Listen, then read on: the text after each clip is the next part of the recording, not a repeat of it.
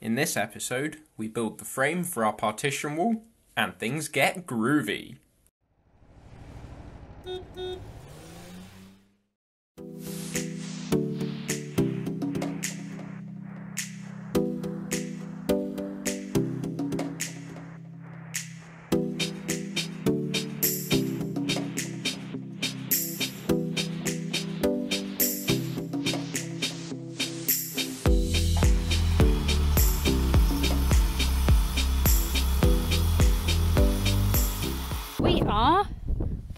Hole jigging. What are we doing? holding. Pocket pocket holing. Drill. Drilling.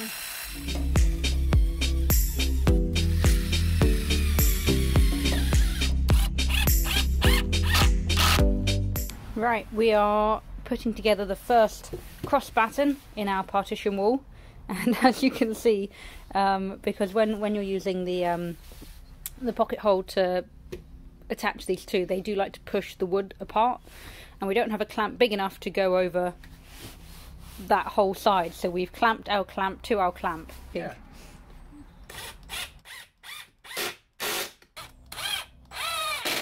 And so over here in this section, there's going to be the door hatch through to the main area. And in this section, we're going to have a little cupboard which will access this area behind the bench seats. So for now, I can cut some insulation for that section and this section. That inside behind the driver's seat is going to be a bit more complicated because there's some funny shapes going on. So I'll leave that one for now.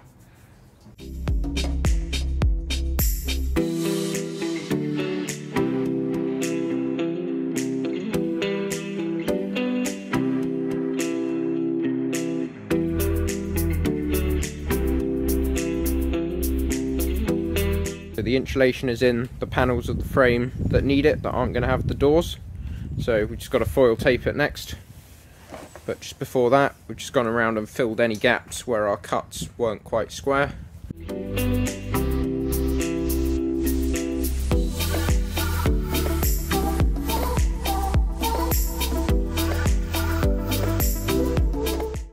So this is our frame for our partition wall that will be going just about there. And what we're doing today is trying to route the groove um, where the kind of frame of the door will sit.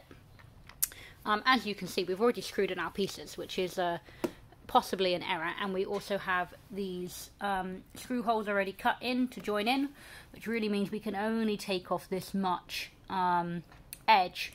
Um, and we need to go down um, by about probably 1.2 because these are 2.4 um, deep.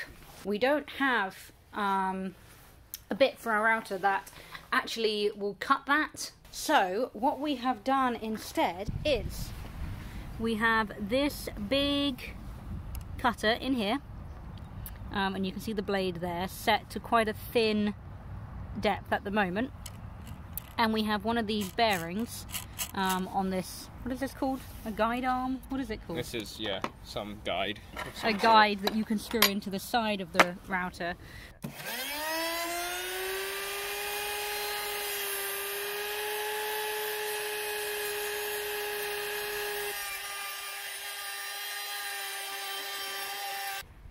Right, as you can see, we now have a second piece of wood clamped behind the piece that we're going to be routing.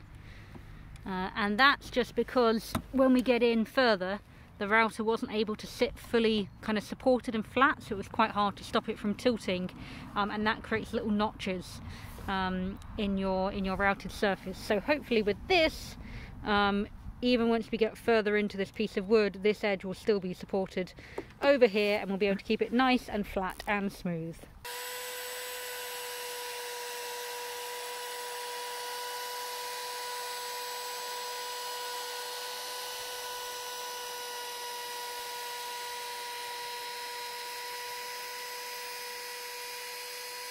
And because we couldn't route all the way into the corners, hmm. we're now chiseling them out.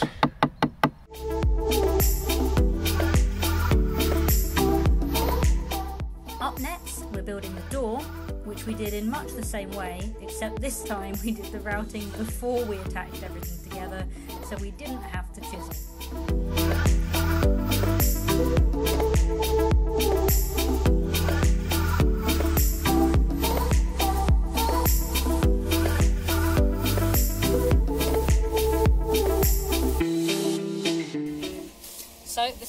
Frame. We've now built the doors, as you can see, not hinged yet.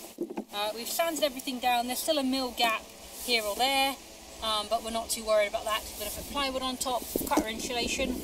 All we're going to do now is foil tape um, the insulation that doesn't have foil tape on it yet, and maybe go over some of these patches that we did before, which we've now sanded down and, and torn a little bit.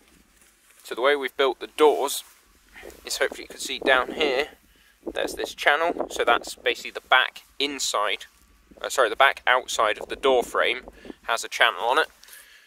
And then the outer frame that is on the inside front has been cut out. So when they when they then slot together nicely, which it will do when it's hinged, it will fit together much nicer.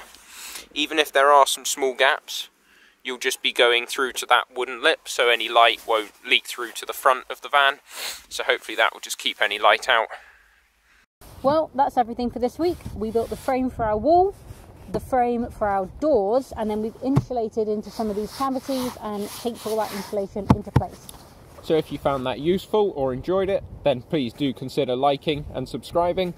And then join us next time where we'll try and get this wall finished off. So we're going to add insulation on the sides and we'll have to cut them to the curves of the van. And then we'll try and put the plywood on top and hinge our doors and get everything finished off with this little mini project. So see you next time.